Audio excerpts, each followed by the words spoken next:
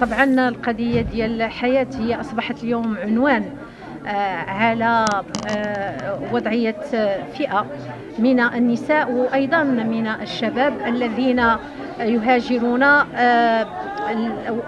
في الواقع وهي في وضعية الطالبة.